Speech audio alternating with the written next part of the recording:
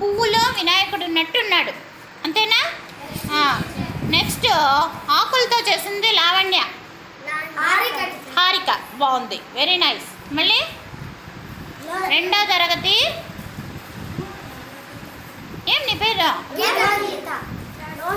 లోహిత ప్రియ. బాగుంది కదా? గీతాంజలి ఇది కూడా బాగుంది. అందరూ చక్కగా వేస్తున్నారు చూడండి.